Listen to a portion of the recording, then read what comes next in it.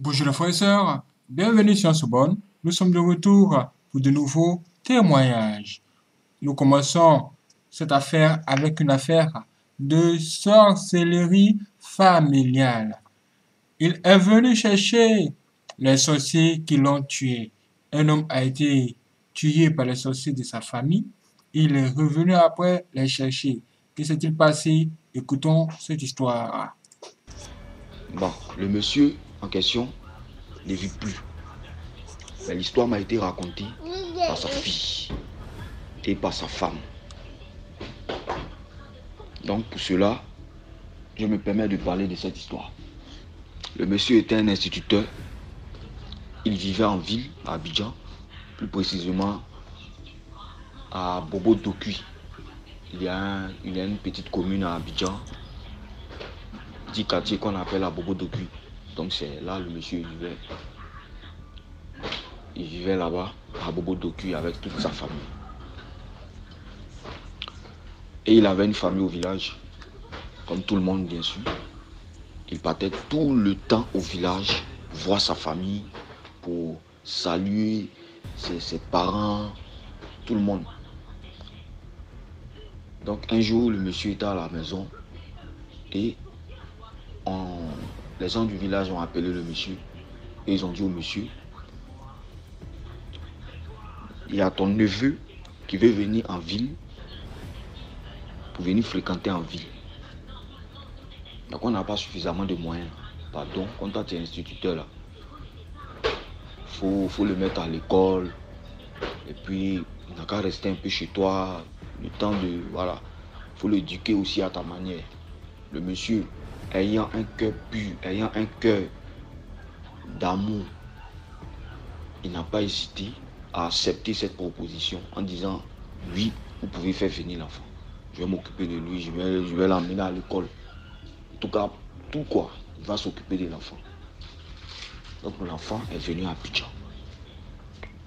Tout allait bien, tout se passait proprement bien. L'enfant partait à l'école, tout et tout. Il mettait l'enfant au même niveau que tous ses enfants. Il n'y avait pas de différence, ni de préférence. Donc, quelques temps après, les villageois ont appelé le monsieur en lui disant que son père est mort. Or, pourtant que son, son père est mort il y a longtemps. Mais ils, a- ils ont caché cela au monsieur. Ils ont caché. Ils ont, ils ont, ils ont, ils n'ont pas dit, ils n'ont pas dit plus tôt au monsieur que son père était décédé. C'est-à-dire le père meurt aujourd'hui et puis ils attendent quelques mois après, au moins 3, 4 mois, 6 mois même, pour annoncer au monsieur. Donc le monsieur s'est dépêché de partir au village avec sa femme. Mais bizarrement, lorsqu'il partait au village avec sa femme, son épouse, son épouse a eu un mauvais pressentiment. Et elle, lui, elle, elle, elle- a, elle a dit ceci au monsieur. Ne faut pas, on va partir au village. Je ne sais pas pourquoi, mais il ressent quelque chose. Il ressent un mauvais pressentiment. Donc, faut pas, on va partir au village. Le monsieur voulait pas. Il dit non, mais allons. On dit mon papa est parti. Mon papa, c'est grâce à mon papa que je suis devenu ce que je suis. C'est grâce à mon papa que toi, tu m'as connu. Et puis toi, tu ne veux pas que moi, j'aille au village pour voir mon papa. Pourquoi? Donc, les deux se sont discutés jusqu'à la femme a accepté. Sont montés dans le car, direction le village. Direction le village. Et le village s'appelle Soubré. C'est un village situé à l'ouest de la Côte d'Ivoire. Le village s'appelle Soubré. C'est un village BT. Donc, ils ont pris la direction de Soubré. Et en cours de route, le cas, le cas, le cas a failli faire un accident. Le monsieur a garé le car, le chauffeur du car a garé et en démarrant encore à nouveau, il se rend compte que le car ne, ne veut plus démarrer. La femme encore dit à son mari, tu vois, tout ça là c'est des pressentiments. Faut pas on va partir. Il dit toi tu dis quoi même? Allons on va mes parents. Donc discussion, les deux se sont discutés tout et tout. La femme aussi a accepté. Elle a dit, bon, allons, vu qu'on est déjà là, chercher un autre cas, ouais, on va chercher une solution, et puis on va partir. Donc, ils ont fait de l'autostop.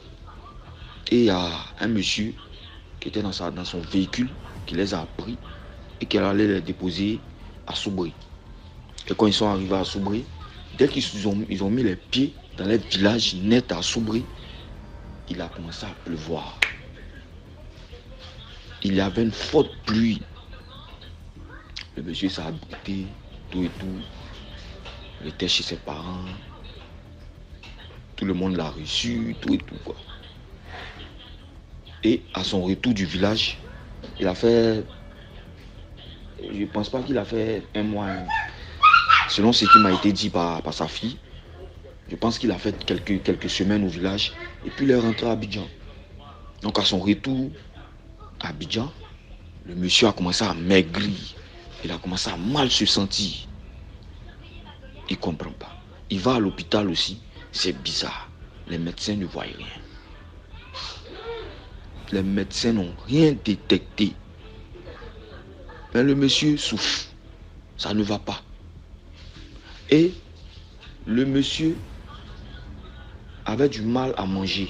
Et lorsqu'il mangeait, quand il se forçait même à manger un peu, juste un peu, pour, prendre des forces, il n'était jamais rassasié. Non seulement il ne se rassasie pas, et puis c'est comme s'il n'a pas trop l'appétit. C'était une maladie mystérieuse, une maladie bizarre, qui n'a pas de nom. Ça le monsieur avait. Et un jour, la fille, la fille du monsieur avait des dons, elle a des dons de voyance. C'est elle qui a vu que pendant que son père mange, le jeune qu'ils ont ramené, le jeune, le jeune qui a quitté au village pour venir fréquenter Abidjan, son neveu là, s'arrête derrière lui. Et puis pendant que le, monsieur mange, c'est le neveu qui prend la nourriture de manière spirituelle. Est-ce que vous comprenez? C'est-à-dire, toi, tu es en train de manger, tu es assis, tu manges à table, et puis quelqu'un se met derrière toi. Et puis pendant que toi, tu manges là, physiquement, tu es en train de manger, mais spirituellement, c'est le jeune. Tout ce que tu manges, là, ça rentre dans le ventre du jeune. Lui qui est derrière toi et puis tu n'es pas rassasié. Et puis tu n'as pas trop aussi l'appétit. Je ne sais pas comment expliquer ça, quoi. Donc c'est ça, le monsieur vivait tous les jours. Et sa fille, grâce à l'aide de Dieu, grâce par, la grâce de Dieu, elle a pu voir ça. Elle a pu voir que son papa était victime de sorcellerie. Elle a expliqué à son papa. Son papa dit non, laisse ça, c'est un enfant. Il ne faut pas dire ça. Qui t'a dit ça? Qu'est-ce qui te fait croire que ce que tu as vu là, c'est vrai? Discuter avec la, fille, avec sa fille, pardon. Et il a eu un malaise grave où il a été hospitalisé, où ça n'allait pas du tout. On partit à l'hôpital, ça n'allait pas. Rien n'y va. Il arrivé à l'hôpital, ils l'ont gardé. Et pendant qu'on le gardait, le monsieur a commencé à parler en disant que, en disant à ses filles, à ses enfants, à ses garçons, n'allez jamais au village. Dans mon village paternel, là, ne partez pas au village. Parce que ce qui m'arrive là, je sais ceux qui sont derrière ça. Je sais ceux qui font ça. Ils veulent me tuer. Ils veulent me tuer. Ils m'ont déjà tué. Ça, je sais qu'ils m'ont déjà tué. Mais vous là, ils ne vont pas pouvoir vous tuer. Écoutez mes instructions. Et puis vous n'allez pas mourir ne partez jamais au village. Les enfants disent non, papa, faut pas dire ça, on a compris. On va pas partir au village, mais faut pas parler comme ça, tu vas pas mourir.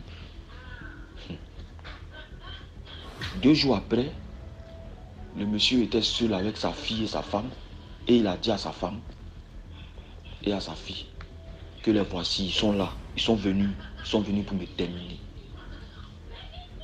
Si je meurs, faites retourner l'enfant mon neveu là, payer son transport, il va partir au village. Mais ne mettez pas vos pieds au village. Mettez-le dans un cas, il va aller à Soubré. Ne partez pas au village. Si je meurs, ne partez jamais au village. Et puis, ne, ne, collaborez plus. Ne, ne parlez même pas avec un membre de ma famille. Parce qu'ils sont tous des sorciers. ils vont vouloir vous tuer, ils vont vouloir vous, ils vont vouloir vous, vous détruire. Donc pour éviter tout ça là, ne partez pas au village. Bien vrai que sorcier ne paye pas transport. Mais tant que vous allez rester à Abidjan, tant que vous n'allez pas les voir, vous n'allez pas chercher à les rencontrer, ils ne vous feront aucun mal. Ça, c'est le monsieur qui a dit tous ces mots sur son lit d'hôpital avant sa mort. Et le monsieur est mort. Et lorsque le monsieur est mort, fait les funérailles. Pendant les funérailles, il y a eu des, histoires. Ces enfants ont fait des histoires avec la famille du monsieur, que c'est vous, avez tué nos papas. Quoi. Donc la famille du monsieur aussi a fait des... Ils ont essayé de... Chacun a menacé l'autre. Chacun a menacé son ami. Une semaine après, ceux qui ont prémédité la mort du monsieur, ceux qui, étaient à la base de la mort du monsieur, ont commencé à voir le monsieur c'est-à-dire, de manière physique, il le voyait comme ça, physiquement. Et puis, et c'est eux, eux seulement qui le voyaient. C'est eux seulement qui voyaient le monsieur. C'est eux seulement qui voyaient le monsieur. Et ils sont morts. Ils sont morts.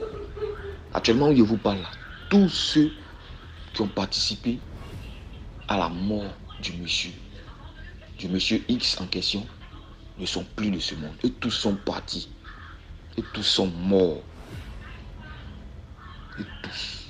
Tout le monde est mort. Mais ils l'ont vu avant de mourir. Et ce qui m'a plu dans ça, ils ont confessé avant de partir. Le jeune homme qui, était venu pour une mission, qui était derrière le monsieur pendant que le monsieur mangeait, n'est plus de ce monde. La dame, la propre soeur du monsieur qui a participé c'est elle qui a livré son frère. Elle est morte, elle est morte de façon misérable, misérablement. Son corps pourrissait. Il y avait des asticots qui sautaient dans son corps. Jusqu'à ce qu'elle confessait. Et elle a été libérée. Quand je dis libérée, elle est partie définitivement. Elle est morte en même temps. Parce qu'elle souffrait. Son corps pourrissait, tout, tout. Et lorsqu'elle a confessé, elle est morte. Vous voyez un peu. Dans la ville, en Côte d'Ivoire, ici, on dit trop gentil, là, ça porte malheur. Mais ce n'est pas à cause de ce genre de personnes qu'on ne sera pas gentil. Que nous, on ne va pas être gentil. Jamais. Mais ce, cette histoire-là, c'est pour dire à tout un chacun de nous. Lorsqu'il y a un malheur, lorsqu'il y a un malheur qui doit nous arriver, Dieu dans sa clémence et dans sa miséricorde, dans sa bonté, faire en sorte que nous, nous ressentons que là où nous allons aller là, il y aura un malheur. Mais si nous persistons dans cette logique-là, dans cette direction, Dieu lui n'est pas responsable. En tout cas, c'était... Waouh, c'est du hors du commun. Dites-moi ce que vous en pensez. Bien, le, le témoignage hors du commun, c'est parti. C'est aussi un conseil pour la jeunesse. Je suis là pour une petite histoire me concernant. Et en même temps sensibiliser mes soeurs parce que nous sommes encore jeunes, très jeunes, nous sommes toutes jeunes. De faire très attention aux propos, que ce soit jeunes hommes ou jeunes filles, qui sortent de la bouche de nos compagnons souvent. De faire très attention à ça. Il y a de cela quelques années, euh, je fréquentais une personne. Il faut dire que c'était la première relation. Je, venais de commencer les choses des grandes personnes en fait. c'était mon premier petit ami. Les choses allaient bien. Voilà, je ne connaissais rien de tout ce qui est homme, tout ça, tout ça. C'était mon premier petit ami. Donc, le gars, on se croisait un jour, j'étais encore au, lycée. voilà, tout allait bien. Vous savez, quand tu viens de croiser pratiquement ton premier amour, je ne dis pas ton premier amour, mais quand tu commences à rentrer dans les choses des grandes personnes, tu te dis que tout ce qui se passe en ce moment-là, quand tu n'as pas trop d'expérience, tu te dis que c'est normal. Voilà, donc euh, c'était le cas, une relation tranquille. Voilà. Mais bizarrement, le gars, quand on a commencé à se fréquenter, à avoir de l'intimité, le gars, tout le temps, tout le temps, tout le temps, il voulait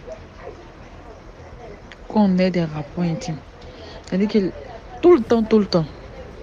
Et même souvent, même dans mes périodes de, de comment on appelle ça, de, de menstruer en fait. Moi, étant naïve, je ne savais pas en fait. Je me disais que, puisqu'il était bien plus âgé que moi, je me disais que c'était normal euh, quand tu aimes une personne. Voilà, pour moi c'est comme ça. Comme j'étais beaucoup réservée, je ne parlais pas généralement de ce genre de choses avec des amis. Comme je ne suis pas trop trop amie avec mes soeurs aussi, ce sont mes demi-soeurs. Je ne, je ne m'ouvrais pas, je ne me confiais pas en fait. Donc pour moi c'était quelque chose de normal. Le gars voulait tout le temps, tout le temps avoir des rapports avec moi. Donc pour moi c'est normal, il m'aime. Voilà. Et une fois, après avoir fini de faire, euh, voilà, le gars me dit, eh, tu sais que j'ai remarqué que depuis qu'on soit ensemble là, euh, le matin, souvent je suis couchée, il y a des gens j'ai oublié qui m'appellent pour, me donner de l'argent ou bien il y, a des, gens qui me doivent, je les ai oubliés, mais qui m'appellent pour dire, ah, il faut signaler que le gars, c'était un délégué médical. Bon, c'est un délégué médical parce qu'il est toujours en vie. C'est un délégué médical. Et pour ceux qui ne connaissent pas les délégués, c'est ceux qui font, ils, travaillent pour un laboratoire, un laboratoire pharmaceutique qui, produit, qui fabrique des, des médicaments. Et, et ce qu'ils font, c'est de se promener dans les hôpitaux, dans les pharmacies pour proposer. En fait, c'est comme les commerciaux en fait. C'est un commercial pour un laboratoire, il se promène dans les, dans les pharmacies, les hôpitaux pour, pour proposer, euh, comment on appelle ça, les médicaments de son laboratoire voilà, aux pharmacies et aux hôpitaux.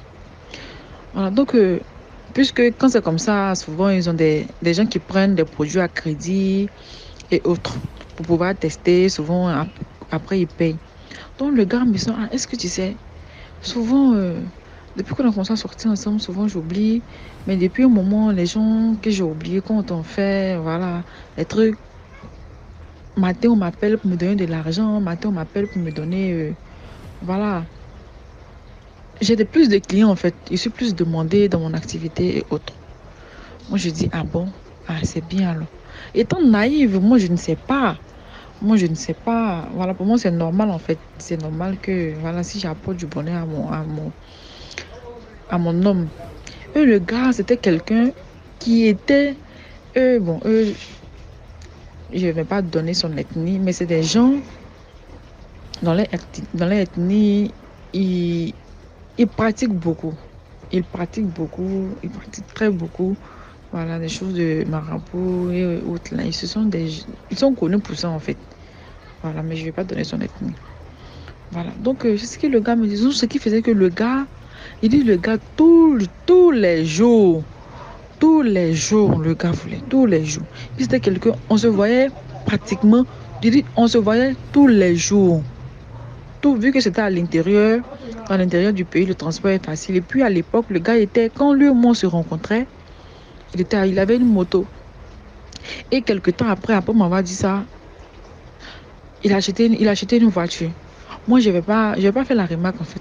Pour moi, c'est normal, mon, mon chéri a évolué, c'est normal.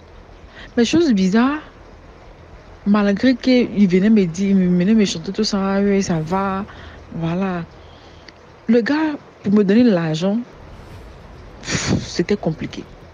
À l'époque, nous, on n'a pas grandi dans les choses d'argent, d'argent, de petite amie, demander l'argent. Pour moi, c'était une relation normale. Mais le gars, pour me donner de l'argent en tant que s'appelait, puisque j'étais encore, comment on appelle ça, à l'école, voilà, pour moi, l'argent, et puis c'était à l'intérieur, le transport, ça coûte pas. Nous, on marchait pour aller à l'école. Donc, c'était pas une question de matériel. Mais le gars, c'est le genre de personne, quand je disais, ah, bébé, je veux manger telle chose, il est prêt à aller payer cette chose-là pour me donner. Et bizarrement, il a fait en sorte que tout le monde le connaît chez moi à la maison. Que ma famille, mes soeurs, ma mère même le connaissait. Il s'imposait tellement dans le quartier, tout le monde le connaissait parce que le gars venait tous les jours me voir, tous les jours. Et quand il venait, il ne voulait, il pas se cacher en fait. Comme tout le monde le connaissait. Donc, quand tu lui demandes de l'argent, il te dit non, que non, je n'ai pas d'argent, mais quand tu dis que tu veux manger, le genre de personne, il va, il est prêt à payer toutes sortes de nourriture que tu veux pour te donner en fait. Tu vas manger. Mais, et puis, à la maison aussi, toutes les personnes qui tombaient malades, il suffisait que quelqu'un dise Ah, je me sens pas bien. Il était prêt à donner même les médicaments pour suivre les traitements, tout ça, tout ça. Même quand les gens allaient à l'hôpital, ils prenaient les ordonnances, ils payaient les médicaments pour donner à tout le monde. Mais quand tu lui demandes quelque chose pour te donner l'argent physique comme ça, c'était vraiment compliqué. Alors que le gars, il a vu que sa vie avait changé. Il a eu à me dire, au fur et à mesure, j'ai constaté que vraiment, ça n'allait plus.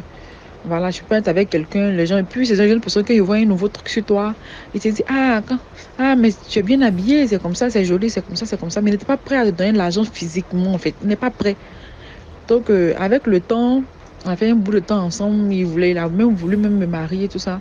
Mais il y a eu des choses, et après, quand je me suis rappelé de ce qu'il mais lui a dit mais attends, toi, tu dis que quand on fait ceci, tu gagnes de l'argent. Maintenant, toi, mais tu es méchant, c'est-à-dire que tu m'utilises, tu, tu gagnes de l'argent et tu, tu me, peux me donner aussi pour que je mange, en fait. C'est toi seul, tu, tu bénéficies de, cet argent-là. Et puis, mais, donc, donc pourquoi? Donc, c'est-à-dire que tu m'utilises et puis l'argent, là, tu manges, moi, je ne bénéficie pas. c'est toi seul qui bénéficie de ma chance, en fait. J'ai compris que le gars abusait de moi. J'ai compris que le, le gars utilisait ma chance dans ce travail et autres. Donc, quand j'ai compris ça comme ça, à un certain moment, j'ai eu à faire des histoires avec lui. Et le mois où il a décidé de me donner de l'argent, pour me donner de l'argent de poche, mettre sur moi. Et c'est le gars, il avait toujours des problèmes. Hein. Quand je lui demande, non, j'ai pas, non, c'est comme ça, c'est comme ça. Quand j'ai vu ça, euh, ah oui, c'était un moment, voilà. J'ai arrêté la relation, j'ai aimé faire la relation. Le gars est venu, il a plaidé, il voulait même me marier. Moi, j'ai dit non, j'ai aimé faire la relation. Vraiment, c'était pour interpeller mes soeurs de faire très attention. Moi, je lui disais, mais si l'argent, même moi, je, je, bouffais aussi, je me donnais aussi pour que je profite de ça. Il me dit, ah, c'est ma chance, on l'utilise à deux en fait, parce que je, mon chéri, c'est normal. Mais tu veux pas? Que... Donc voilà un peu, c'est pour dire à mes soeurs de, se, de faire très attention. De faire très très attention à mes frères aussi, parce que dans la parole, il y a beaucoup de choses qui sont... Apprenez à écouter vos conjoints, apprenez à écouter ce que les gens disent, même vos pointeurs. Il y a beaucoup d'informations dans ce qu'ils ont dit. Donc prenez, faites beaucoup, beaucoup attention. Et il y a aussi des choses, des pratiques sexuelles à ne pas faire. Comme ce que vous connaissez, coucher par, par la nuit, ce genre de choses. Ou bien, vous ne devez pas permettre à quelqu'un de, de sucer votre, votre, comment on appelle cela, comme une femme, voilà, votre règle. Vous voyez le sang qui sort. A certains hommes ritualistes qui se permet de, de voir cela. Si vous fréquentez quelqu'un qui fait ce genre de choses, méfiez-vous de cette personne parce que c'est un rituel qui est en train d'être fait là sous vos yeux, en vous-même. Posez-vous de bonnes, bonnes questions. Posez-vous même de bonnes questions. Est-ce normal? Ah! Ce qui n'est pas vraiment normal, dès que vous voyez cela, ne vous posez plus de questions. Il y a quelque chose qui ne va pas. Merci d'avoir écouté. Si c'est vous donne rendez-vous pour la prochaine vidéo tout à l'heure. Restez connectés sur ce bon.